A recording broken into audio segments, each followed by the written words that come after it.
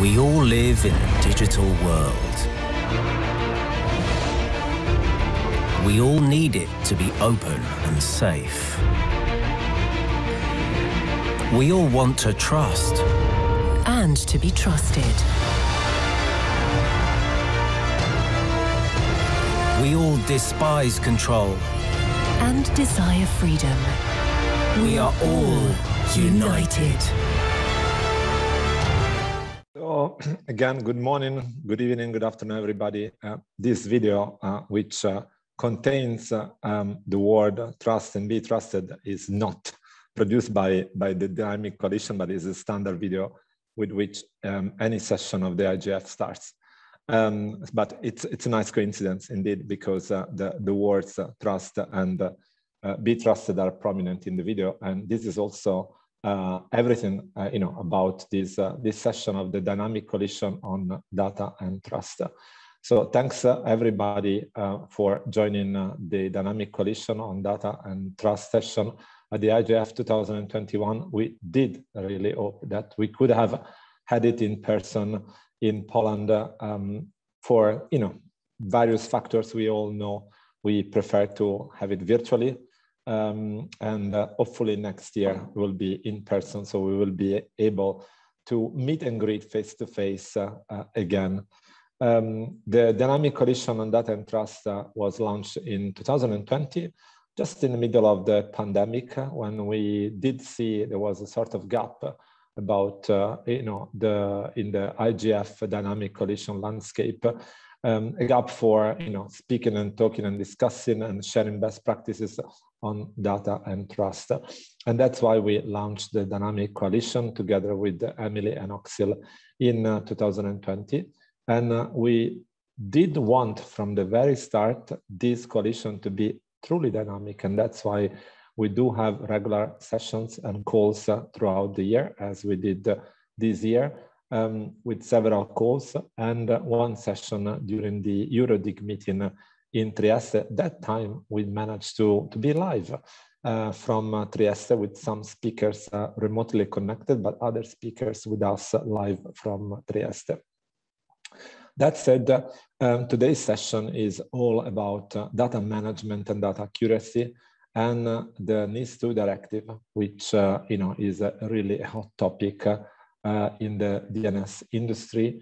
We will uh, manage uh, um, in the next uh, 55 uh, minutes, 60 minutes to speak about uh, uh, data management and data accuracy and the NIS2 directive from different perspectives, um, starting um, with an overview of the NIS2 directive by the European Commission. We have Benjamin Bögel with us, and then we'll move to Polina um, Malaja of CENTR, Policy Director at CENTR. She has been regularly updating the CENTR. CENTR is the Council of European National Top Level Domain Registries, uh, this umbrella organization for CCTLD, but not only CCTLD operators.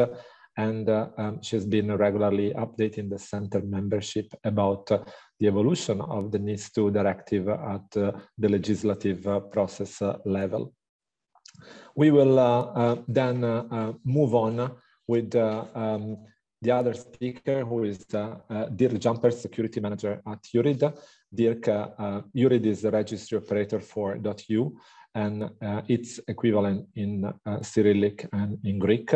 And uh, .eu, as EURid, as in many other registries, we have been following the impact of the NIS2 directive on our operations and the actions that have to be uh, deployed by the registry to make sure that at some point we are fully compliant um, with uh, the forthcoming NIS2 directive. Um, we'll move on with Kit Drazek of uh, VeriSign. And thank you so much, Kit, for joining at the very last minute. and I believe you will provide a, um, a very interesting, uh, you know, um, view of what you think is, uh, you know, the the the NIS2 directive and all um, um, you know, what VeriSign does in terms of data accuracy and data management. Uh, VeriSign is the largest uh, registry operator worldwide level, and uh, VeriSign is the operator of .com, .net, and uh, uh, other um, TLDs. So uh, thank you again, Kit, for joining. And we will end with Arda Gerkens, um, who's from the Online Child Abuse Assessment Bureau. And she will provide an interesting perspective from um, a special area of, you know, special uh, group of the end users. So we will uh, collect all the opinions uh, and all the views on um, data accuracy, data management, and the NIS2 directive. But at the same time, we want really this to be an interactive session. We have Emily Taylor with me to uh, as the online moderator. Um, I'd like to leave the floor to Benjamin first uh, of the European Commission. Um, I'd like also to invite the speakers to, to stick to the five, six minutes as we have agreed. Uh, and um, we will collect questions from remote uh, participants and ask the questions directly and then open at the end the floor uh, for a discussion. So thank you, Benjamin. You're the first. Great. Thank you very much, Giovanni. So my name is Benjamin Bögel. I work in the European Commission in the cybersecurity policy unit, and I'm part of the team that has been working on the NIS directive uh, since the proposal came out. And I will quickly provide a, like I will quickly walk you through the main elements of the directive and this will not be very specific to DNS. It will be a general overview so that you know the framework, you understand it, also with a little bit of background for those that are maybe not from the European Union and that don't know how EU law works. And then we can get into the details in the Q&A. Okay, so the NIS directive um, is a directive that has come into force in 2016 already, covering uh, seven sectors of the economy and some digital service providers. And uh, we have now in um, December 2020 um, decided to propose to revise it to make it fit for the digital age, so to speak, and also taking into account the experiences that we've had with the COVID-19 crisis. Um, what I will present to you now is a proposal by the Commission. So this is not a final law. It's a proposal that uh, still has to go through the legislative process. The legislative process has already started. We already have a position by the European Parliament on the one hand, and there is also a position already by the Council, which gathers the member states of the European Union.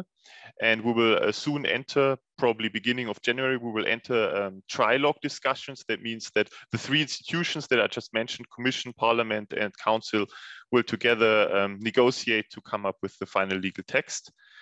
Um, the NIS directive is a directive. That means that its rules are not directly applicable in the member states, but they need to be transposed by the European member states into national law, and only then the rules apply actually. Um, so that's a quick introduction into where we stand at the moment. So our proposal basically maintains the three pillars that already exist in the current uh, directive. And the first pillar is uh, that we want to improve the member state capabilities. So our directive um, requires member states to put in place cybersecurity authorities that um, implement the rules of the directive, but also so-called CSIRTs. These are computer security incident response teams. And in addition, the member states are required to put in place national cybersecurity strategies and frameworks on um, coordinated vulnerability disclosure and crisis management. So that was the first pillar on the member state capabilities. The second pillar, which is probably the most interesting one for you, is on the risk management and reporting of entities. So these are usually companies, but they could also be public entities. There will be two types of entities um, defined by the new directive essential and important entities.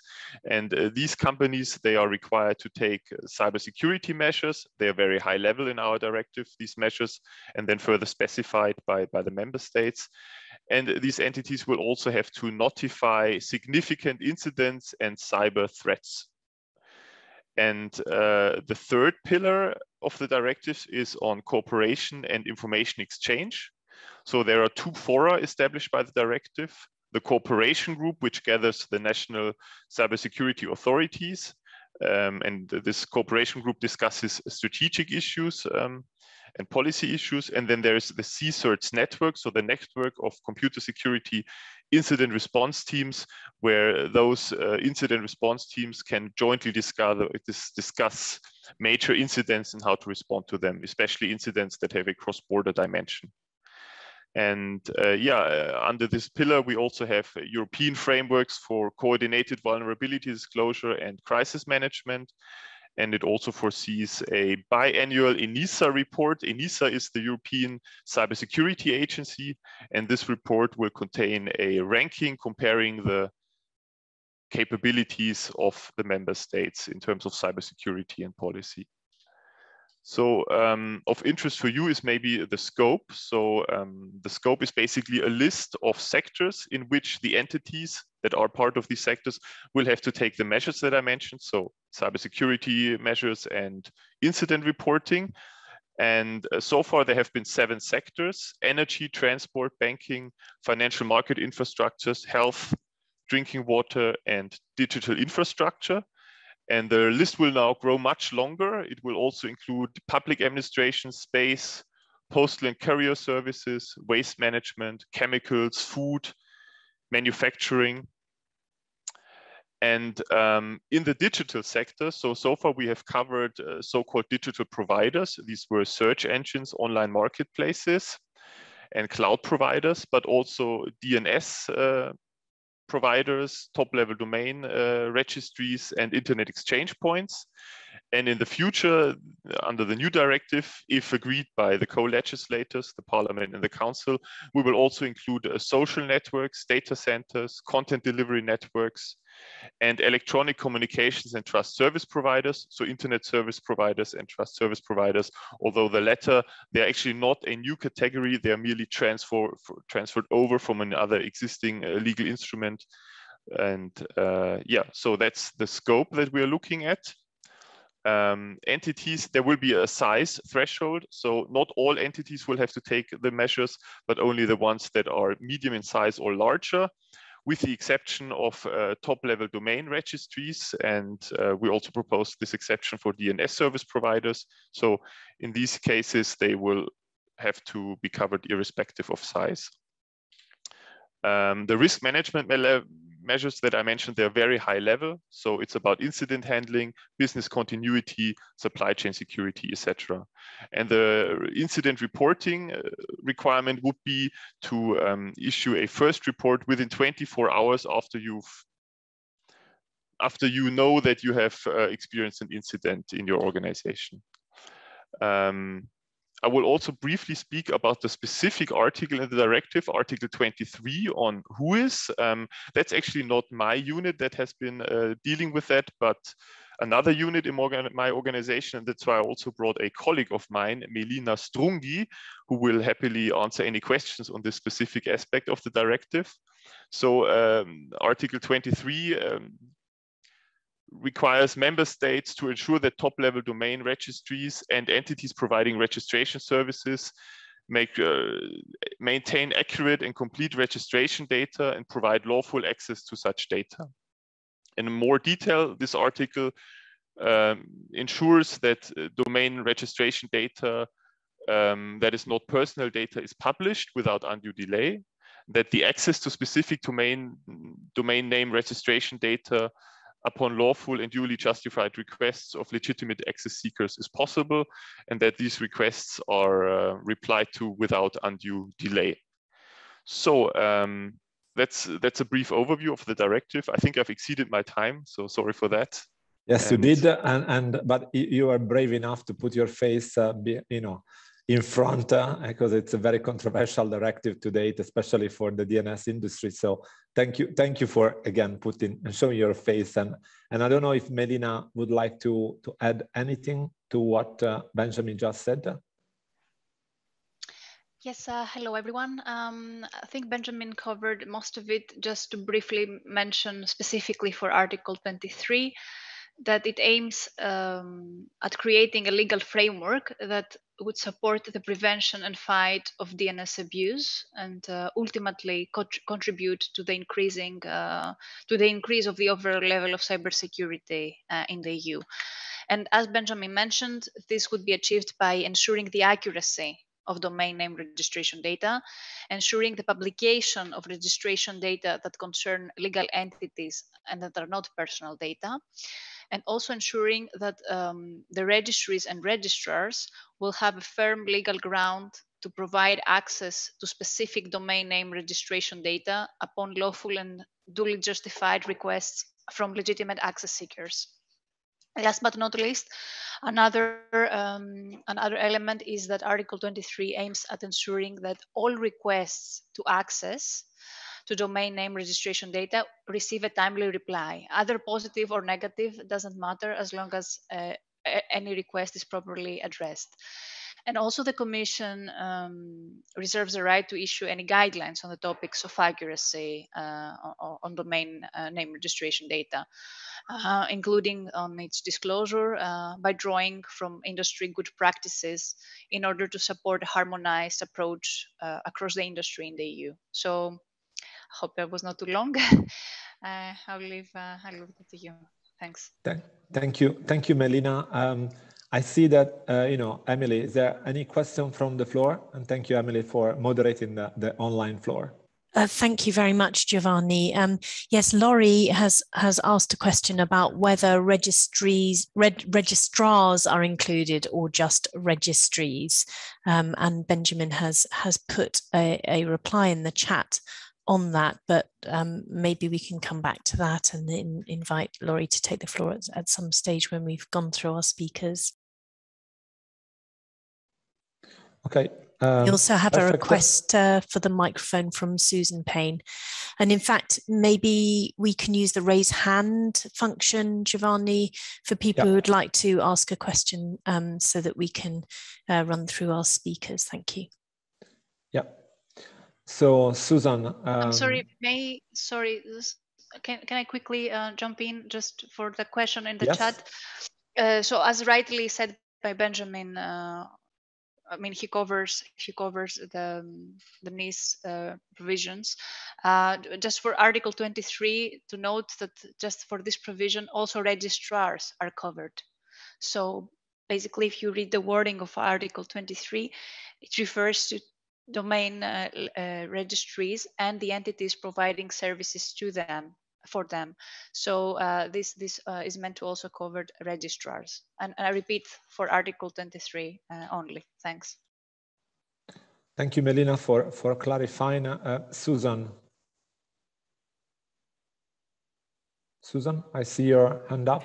Yeah, thank you. Sorry, I wasn't sure if I should wait for the rest of the speakers, but it is a question um, specifically on this, um, and, and particularly on, on the decision to include all TLD operators, irrespective of size, and, and more particularly, irrespective of um, the business model of, of that TLD operator. Um, and the thing I'm, I'm thinking of in particular um, is that a number of um, brand owner um, or you know a number of companies have have what what are termed um, dot brand TLDs, which are essentially um, more of an internal matter. They are not providing a, a service um, to the public at large. Um, they may um, if, if they choose to operate in such a way, they might particularly, they might allocate names to say trademark licensees or group companies. Um, but it's not a, a, sort of public service and it's not a sort of an essential infrastructure um, to the wider public. It may well be essential infrastructure for them internally. So my question is why, why would they, why do you perceive the need to be regulating them in the same way as, um, you know, an open um, sort of retail model um, top level domain? Thanks. Thank you, Susan. Um, any short and, and, and uh, you know, reaction from Melina or Benjamin? So if your brand uh, top level domain is only used for internal purposes and you're not providing it as a service, so if you're not providing a registration service to the wider public, it's out of scope. Our uh, directive only applies to services that are um, available publicly.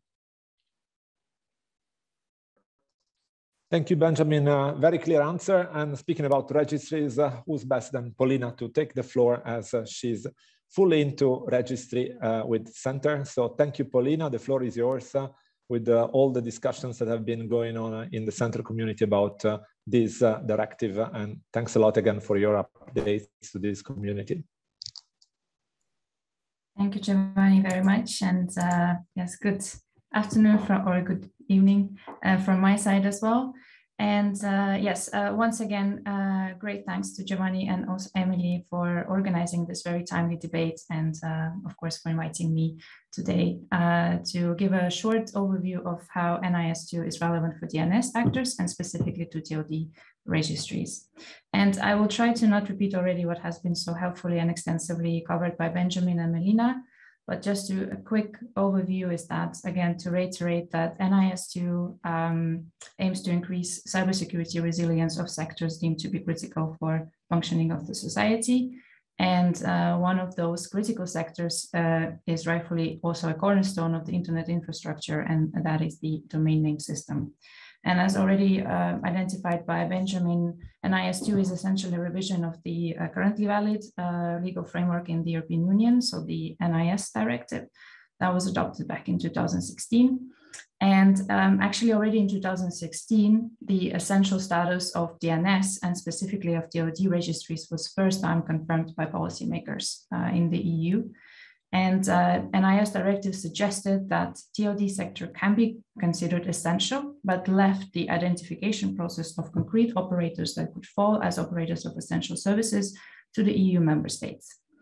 Uh, and uh, of course, NIS directive also established the uh, national supervisory regime over operators of essential services and established the need to follow the minimum set of information security measures by a variety of operators across the European Union. And in the past five years, uh, European CCTLDs um, were already consistently identified as operators of essential services as part of the digital infrastructure sector, as established by the NIS directive. And this confirmed and it also in some ways encouraged additional investments into security of networks and information systems within the European CCTLDs. So the question now is uh, how is NIS2 different? And um, specifically when it comes to the DNS, um, NIS2 makes a few important statements directly in its text. So um, in the proposal then I'm referring at the moment as uh, Benjamin identified. And um, it's different uh, from the mere suggestion to include DNS sector as essential as established by the uh, current NIS directive. So specifically, NIS2 explicitly recognizes that upholding and preserving a reliable, resilient, and secure DNS is a key factor in maintaining the integrity of the internet. So that's an important statement to frame the, the obligations and uh, additional um, provisions that NIS2 put forward. Furthermore, according to the NIS text, maintaining accurate and complete databases of registration data, so so-called WHOIS data as referred in the proposal, and providing lawful access to such data is essential to ensure the security, stability, and resilient, resilience of the DNS. So that's uh, another important statement in the NIS2 proposal. And finally, the availability and timely accessibility of this data, as also pointed out by Melina, um, is stated to be essential to prevent and combat DNS abuse. So as a result, the NIS2 goes further than its predecessor NIS directive by first enlarging the scope uh, to more digital infrastructure services, and in particular the DNS services, since DNS uh, is uh, re recognized as a critical um, key um, component for supporting digital economy and society. The scope of the NIS2 is also extraterritorial, so it, it encompasses all services available in the European Union, and secondly, importantly for TLD sector is that it puts a special emphasis on a so-called data accuracy obligation on TLD registries and registrars. Um, that is essential for security and stability and resilience of DNS. And that is the Article 23 that Melina has also already provided an overview of. And according to the proposal, again, I will just reinstate what Melina already said, but just to frame our discussion a bit further, um, TLD registries and registrars uh, will be obliged to collect and maintain accurate and complete registration data, publish all registration data concerning legal entities, and provide access to non-public personal information to all legitimate access seekers. And uh, as already also identified uh, by Benjamin, uh, this is currently a proposal. So the uh, negotiations on the final text are, are still ongoing. And uh, the co-legislators in the European Parliament and the Council of European Union have been also working on their respective drafts of the legislation before they can enter the final negotiation rounds. And when it comes to Article 23, both co-legislators are in favor of adding additional obligation within the data accuracy uh, scope, that is to verify um, the registration data, in addition of keeping it merely accurate and complete. And uh, the co-legislators are also in favor of specifying which data sets should be kept accurate, complete, and essentially verified. And if uh, some of these uh, positions will prevail uh, in the final stage of the negotiations, TLD registries and registrars can be obliged to verify registrants, for example, physical addresses and phone numbers, uh, in addition to their identity and other contact details. So, um, and with regards to legitimate access seekers and their access, as also already pointed out by Melina, but within the co-legislators' uh, positions, um, there might be also an obligation to respond to these legitimate access seekers' requests within 72 hours. So, in a nutshell, uh, such data accuracy obligation will have a significant impact on existing policies and procedures in place across the industry and um, we feel that the impact of that on the cybersecurity, though, is limited. So while registration database accuracy is, of course, important for the overall health of domain name zones, it's also important to keep in mind that it is not strictly uh, a network and information security issue, as it won't help uh, to address all different cybersecurity threats when it comes to maintaining uh, security, stability, and resilience of DNS. So for example, it won't help with addressing such um, uh, cybersecurity threats as DDoS attacks or DNS hijacking, for example. And so the reach of data verification obligation, if we look at the co-legislators' positions, is limited. And it really cannot be also claimed as the most important issue for DNS security, as it has been stated in the proposal in the yeah, in, in providing the framework for these additional obligations. And of course, after all, NIS2 is not also only about registration data accuracy, but there is a significant attention given to this very specific issue. And we feel that there is a risk of shifting the focus on the issue that might not bring significant security benefits for DNS. And of course, this at the expense of individual actors uh, such as registries and registrars. So with that, finally, I would like to just state um, that um, it is also worth to reiterate that ensuring safe and trusted online space for consumers, businesses, and public sector is a collaborative effort of many actors involved. And um, consequently, increased collaboration between infra infrastructure actors and competent authorities based on a clear procedure and the rule of law is the key to make sure that the online space remains a safe space for all. So thank you for that and uh, back to you, Giovanni. Thanks a lot, Polina. It was a, a very healthy reminder about uh, the multi-stakeholder nature of the internet community and the importance of uh, having a constructive uh, and, uh, and good dialogue among the different parties. So thank you so much. And also thank you for having brought up again the, you know, part of the statement that CENTR made uh, in the official position of CENTR membership about uh, how much data accuracy contributes to, a, a, let's say, safer and more resilient uh, internet uh, infrastructure. Um, Emily, um, is there any question from from the floor? Any hand up that I, I may have missed? I'm not seeing anything uh, just now. Thank you, Giovanni. But uh, just to encourage all participants to to raise their hand or to post some questions in the chat, and we can pick them up uh, as you've done uh, in the flow. Thank you.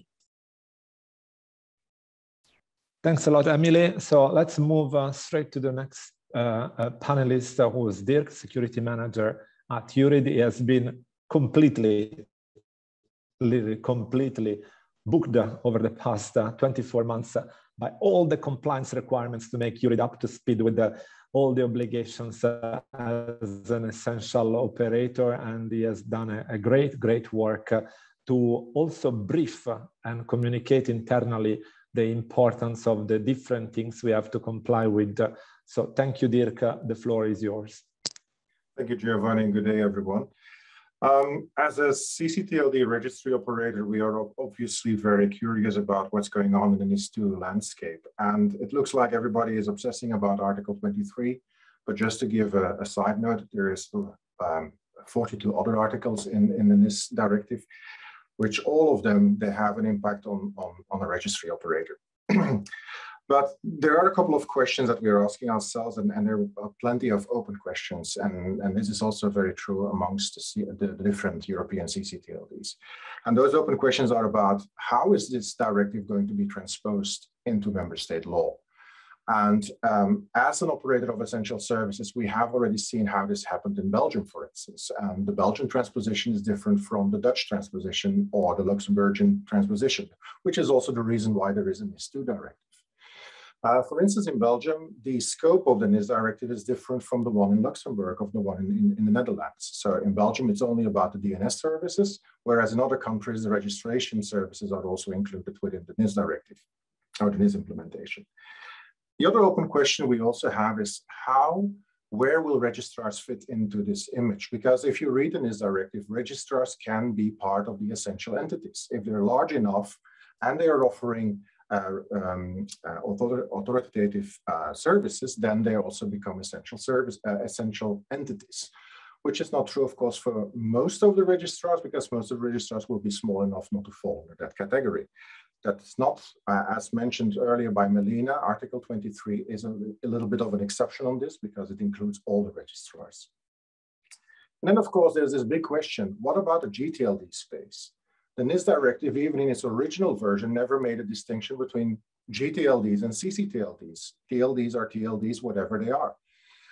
The thing is, the member states have translated this into CCTLDs in Europe which means that, for instance, in Belgium, then you have the funny situation that both .eu and .be are both falling under the same regulator. And in the Netherlands, for instance, you only have SIDN dealing with .nl. But if the GTLDs are also included, there are plenty of European GTLDs, and then we have a complete different ballgame. CCTLDs are governed in a different way than GTLDs on the level of the internet governance. GTLDs are governed by ICANN, whereas CCTLDs CCTLDs in most cases are completely governed by themselves. So again, that's a very important question. Now the internet has um, another open question, I think, is that the internet is open by nature and international by nature. And so we have to ask ourselves, what does it mean when the NIS directive is transposed into member state law, including some of the registrars, but what about jurisdictions? We fall under the Belgian jurisdiction, but if we have a large registrar, I'm just giving an example like a French large registrar, who might also be a registry, well, what if they also fall under the French uh, uh, implementation of the NIS directive, and how is this going to work on, on, on, on a European scale? So all these questions um, still need to be answered. And especially when we're looking at Article 23, there's a lot of interpretation possible, possibilities, and there's also a lot of things that can be added by the member states. When I read the last version of the, of the NIS directive, for the version of the 26th of November, then the amount of data that is supposed to be accurate and complete is limited to a relatively small set. Originally, it was much larger set, but now it's a smaller set. But that implies that member states can interpret this and add things to this thing. Um, so there we have the question of how is this, again, how is this going to be interpreted by the member states? And will there be guidance either by the European Commission or by the industry to help facilitating this thing? Because this exercise is quite complicated. Um, when we're looking at Article 23 more specifically, Article 23, paragraph 3 is quite an interesting one because that one is the one about the policies and standards that will be used, which need to be public to validate or not to validate, to, um, to make those that data that is collected uh, accurate and complete. So again, these are open things that are not very well defined. In the meantime, the industry, of course, is looking at this directive and trying to work together. So there's several initiatives already within the uh, within the .eu, sorry, and within the European uh, TLD uh, community to try to understand how we are going to uh, react upon all these different obligations and how we can deal with this, taking into account that it's a directive and not a regulation. But lastly, and this is just a, little remark, the DNS is not about registration data. The DNS is about the DNS. It is a system that allows us to use the internet as it is. And we have to make sure that we don't forget this. I mean, making sure that the DNS is stable and resilient, which it has been for more than 30 years without any big issues, is utterly and the most important thing. The DNS must flow. To paraphrase Frank Herbert, it is the DNS that is important. And why is this important? If we think about the future, we have to be careful. We have to be careful that we treat all domain names equally, but also equally important because not all domain names are actually equal. If a domain name, for instance, is used in a smart city and it's literally used for a thousand or maybe tens of thousands or hundreds of thousand devices, if that domain name would have, if something would happen to that domain name, that's a big issue. So we have to be careful not to focus too, too obsessively about DNS abuse and not forget the other things that are happening with the DNS and where the DNS is an essential component. And with that, I'll leave the floor to questions or remarks. Thank you so, so much, Dirka. And uh, uh, Emily, any, any question from the floor? Anybody who likes to? I'm not you know. seeing anything more and I can't see any hands raised, but um, you know, there, there were um, many, uh, or I've just seen um, a question from Samuel uh, Kariuki. Sorry if I've pronounced your name wrongly. Um, and maybe Samuel would like to take the microphone um, if that fits in with your plan, Giovanni. Please, Samuel, the floor is yours. If you like to speak up, otherwise we'll just read the question. Okay.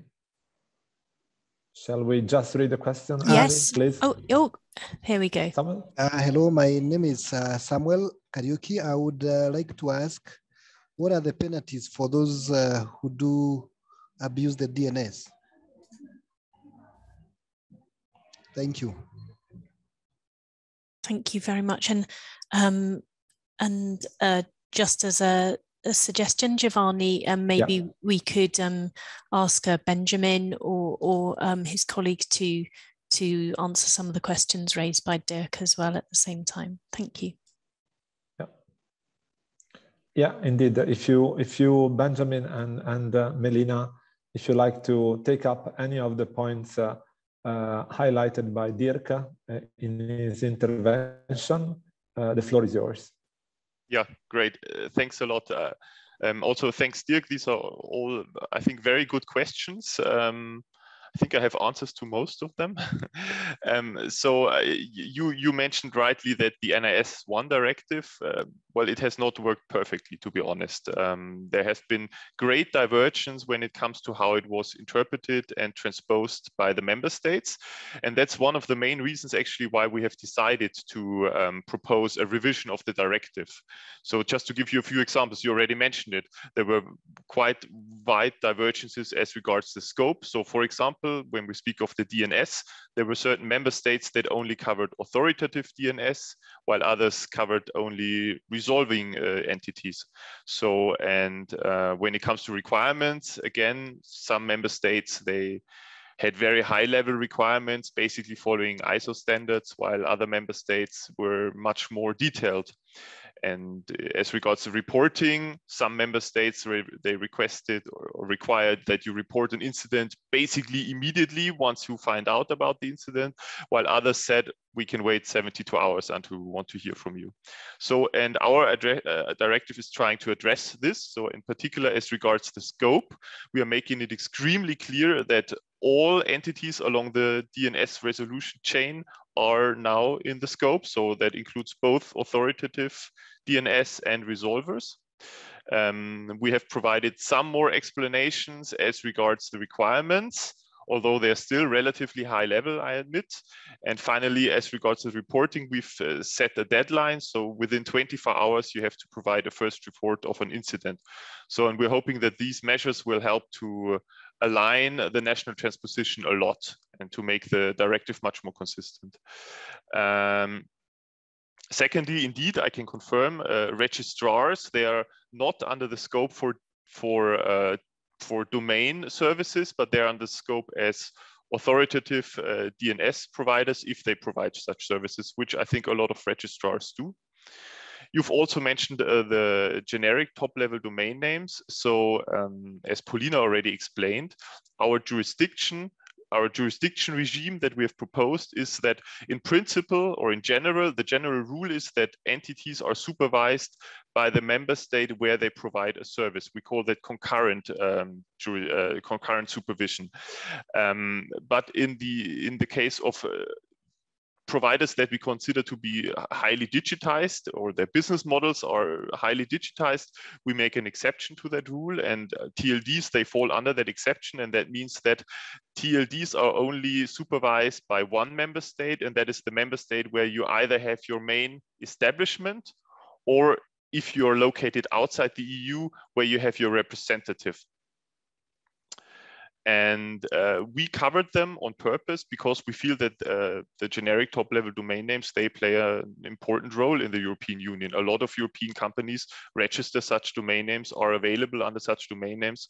That's why we've uh, registered and why we consider them critical.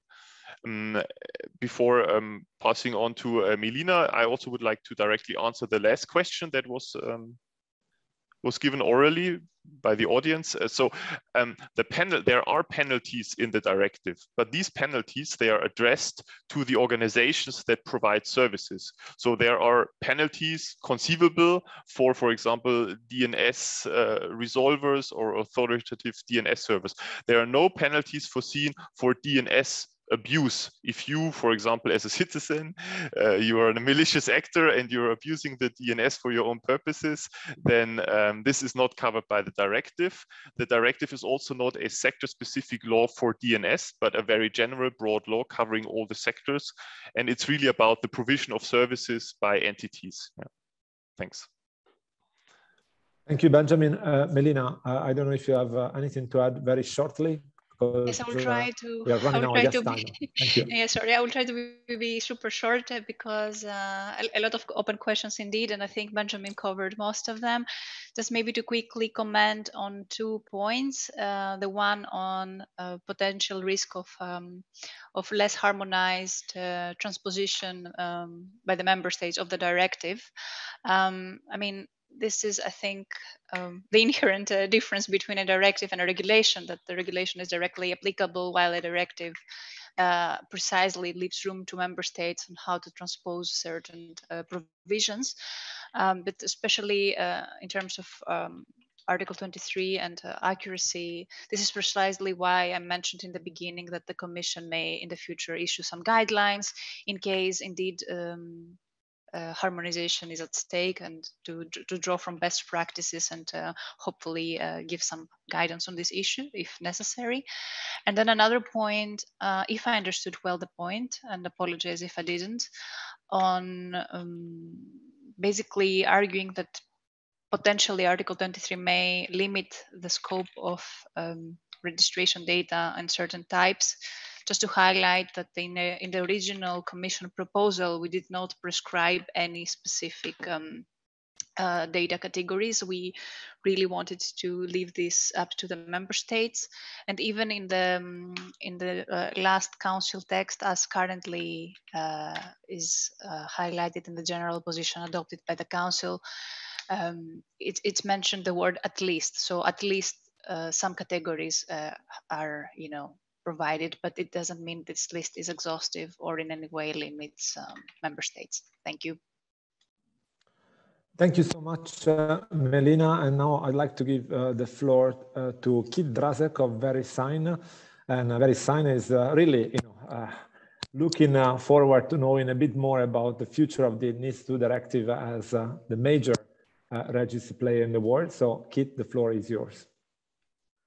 Thank you very much, Giovanni, and thanks, Emily, for the invitation to participate today um, and to all the panelists. Um, I, so I, would like to respond. I'll, I'll, be as brief as possible. I, we should want to keep a few minutes for Q&A, obviously.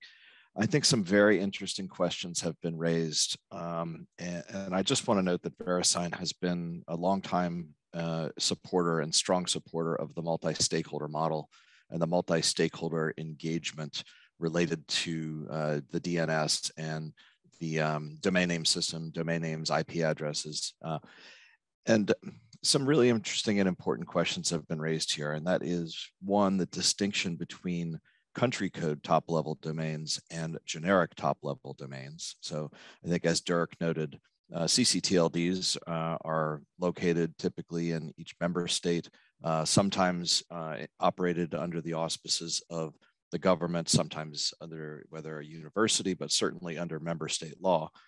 Um, where GTLDs are generic and more global and uh, responsible to ICANN uh, in terms of our contracts, in terms of our responsibilities, in terms of the policies established in the GTLD space. Um, and so there are some concerns, I believe, about the impact of the proposed NIS2 language on the multi-stakeholder model, the multi-stakeholder engagement at ICANN. Um, another important question is the distinction between registries and registrars. Uh, and this also ties to uh, the requirements under GDPR uh, and the questions about data, who holds the data, who has the relationship with the registrant, um, and what those obligations might be and should be.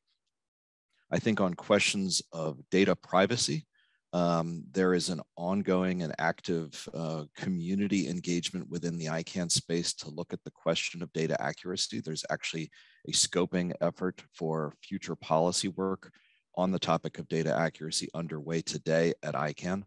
Um, and again, this would be specific to GTLDs, not CCTLDs necessarily. Um, and so we have some questions and some concerns about the possible impact of uh, a regulatory approach in a particular jurisdiction on the multi-stakeholder engagement as it relates to GTLDs. Um, I think a key a key question is around the roles and responsibilities of various actors and various players uh, in the internet ecosystem. Um, I, I, posted a, a, link to a blog that uh, I posted recently um, that focuses on some of these key questions around roles and responsibilities of various actors and definitions of DNS abuse as a, a broad heading or a, an umbrella term. Um, and I think it's really important to recognize that different actors in the space have different roles and responsibilities and technical capabilities and different obligations under, uh, under law, including GDPR. Uh, and I'll give an example. For today uh, and for the last more than 20 years, uh, VeriSign has not collected or held registrant data for our .com and .net TLDs. We haven't needed that information to operate the service that we provide as a registry. Um, and uh, the registrant data for .com and .net are held at the registrar level. Uh, and questions of where that data should reside, should all of that data be transferred uh, across borders, across jurisdictions, um, you know, I think is is a question that is being dealt with within the ICANN community and the multi-stakeholder model. Um, but it's an example of a potential conflict between requirements for a registry, uh, a GTLD registry to collect, hold, process data that we simply don't need to perform the services that we perform and have performed uh, and I will note with now 24 years of uninterrupted availability and uptime for .com and .net, uh, 24 years, uh, we've provided our registry services without that data, without those, without those obligations. Um, and um, we're concerned that uh, I think as, um, as Polina noted, uh, there's some extraterritorial impact of this type of a regulation what does that mean for GTLD registries that are housed outside or, or headquartered outside the, uh, the EU? And what does that mean in terms of new obligations? So I'm going to wrap up there. Um, there's a lot to talk about here, uh, but I want to make sure we leave su sufficient time. Uh, and I would refer people to the blog post link that I put into the chat uh, for additional detail, additional um, uh, information about the ongoing ICANN community efforts on DNS abuse. So thank you very much, Giovanni. Thank you so, so much, um, Keith. Uh, and uh, you brought up indeed an interesting point about the need of uh, holding uh, registrant data for uh, registries, GTLD registries. So thank you for having brought that aspect up. I'd like to move straight to Arda, um, who is going to, uh, you know, uh, give us the perspective of the Online Child Abuse Assessment Bureau on the uh, data accuracy, data management, and the NIS2 directive. So Arda, the floor is yours. Thank you very much. And I do feel like I'm uh, an odd uh, member here in this uh, technical panel, uh, but I do want to give my point of view or, or the point uh, of view of the hotlines who try to identify the owner of websites. So um, even after, but also before GDPR, we have seen an enormous drop in the possibility to reach the website owners who host child abusive material this is uh, an ongoing problem to that to uh, for us. Um, what we mostly do is notify the uh, internet hosting uh, party as well as the website owner because we know the majority of the time the website owner doesn't react. It's not mainly because of they don't want to react. Uh, we also know that the majority of these companies who do spread the material are not, as you might think, um, websites um, uh, with mainly this kind of material, but it's uh, for the majority image hosting websites who are very vulnerable for, uh, for this material. And we also found that these image hosting websites are not big companies, but they're most of the time small, small um, business enterprises, even not medium enterprises, but business enterprises, who sometimes do it beside their day job um, just to get some extra money and they do everything not to get hassle out of it. So yeah, they won't have a very uh, accurate abuse address. It's hard for us to get in touch.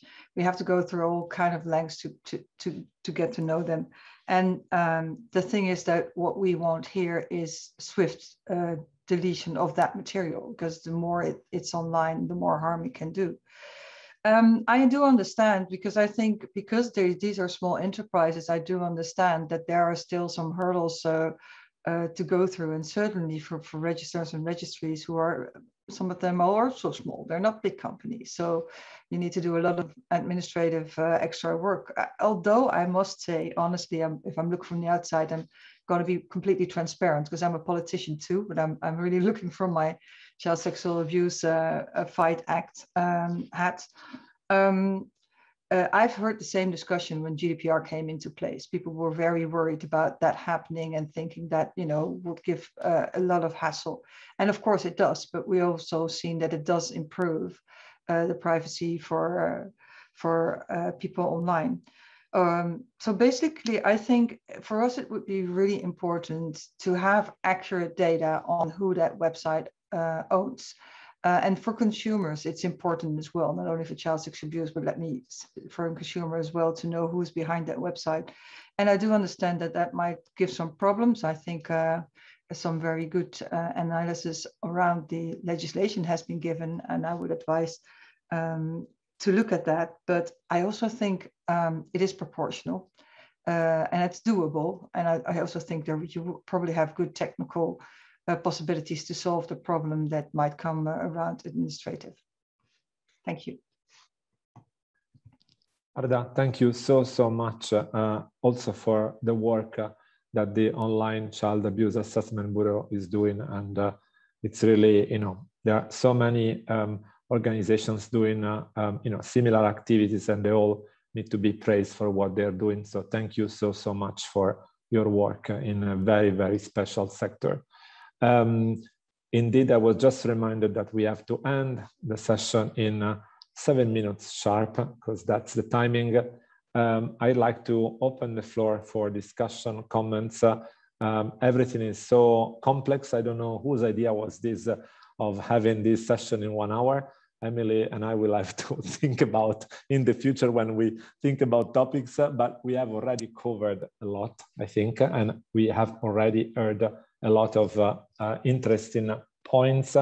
Um, Emily, any question from the floor?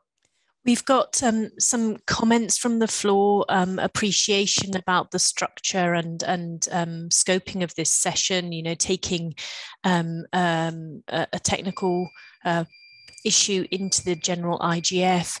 Um, some support from Elena Plexida of ICANN for Keith's points about possible conflicting requirements in Article uh, 23, um, um, and um, also some interest from Amir in joining the Dynamic Coalition, which I'll reply to in the chat. I can also see that um, Alan Woods has his hand up and Lori Schulman does as well. So Alan, please, uh, the floor is yours, very short.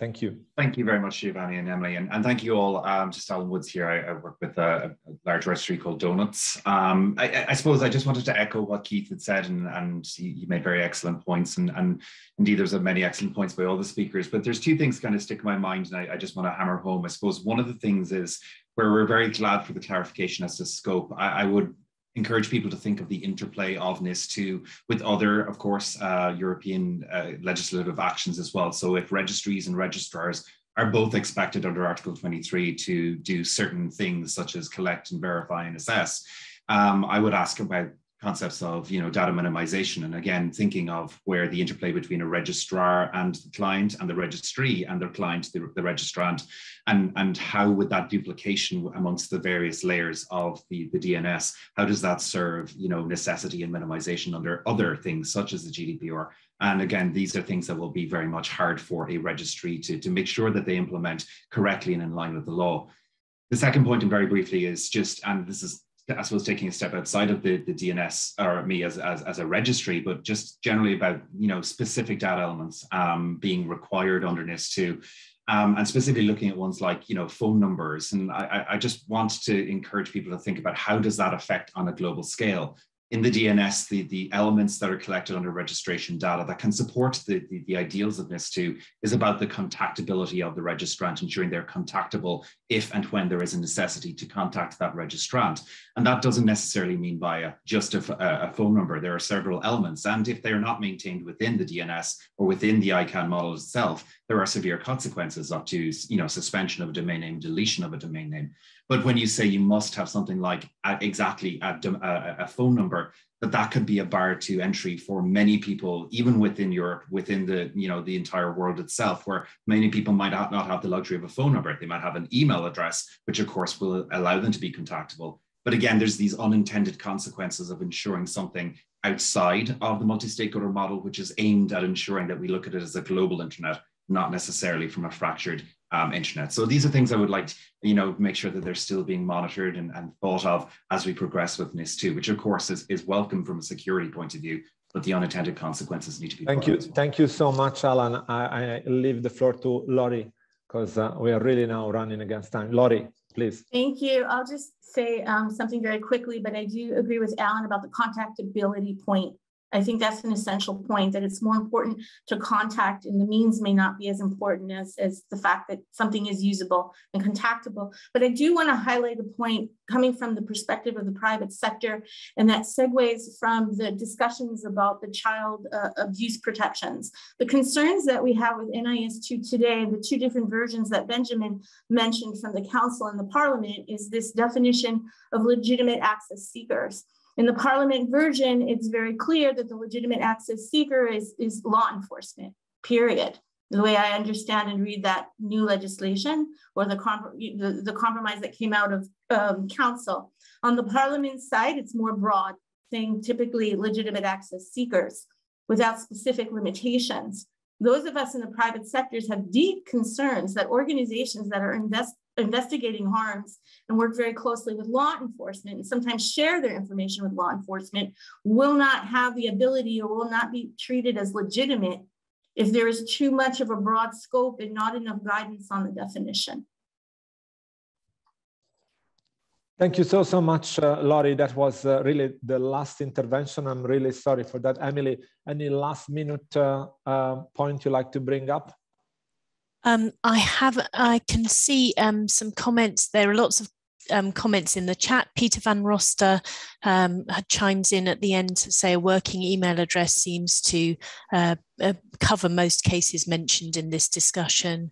And um, there's more detailed remarks um, back on um, section 23 or article 23, which is animating people a lot, but um, uh, nothing more than that. And uh, great questions and comments uh, from the audience. Thank you very much. Indeed, Emily, thank you so much for being uh, the online moderator and the rapporteur. We will circulate the notes both on the Dynamic Coalition uh, mailing list and also on the IGF site. We have to wrap up uh, now. Thank you to all the panelists. Uh, thank you to all the attendees. Uh, it was a very interesting discussion. Uh, it was clear from the beginning that we didn't have enough time to cover everything, but we did cover some very interesting points. So thank you so much. Stay tuned on the Dynamic Coalition on Data and Trust. We'll catch up soon. Bye bye, everybody.